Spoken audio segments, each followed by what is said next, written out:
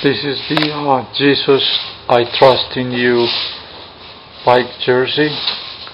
It's got a three quarter hidden zipper in the front and it's got the full image on the back with the three back pockets. You can only get this at bikingthings.com. It's our exclusive design.